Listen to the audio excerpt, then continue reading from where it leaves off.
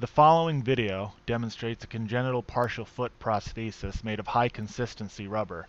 The patient is a 17-year-old male, very active in sports and recreational activities.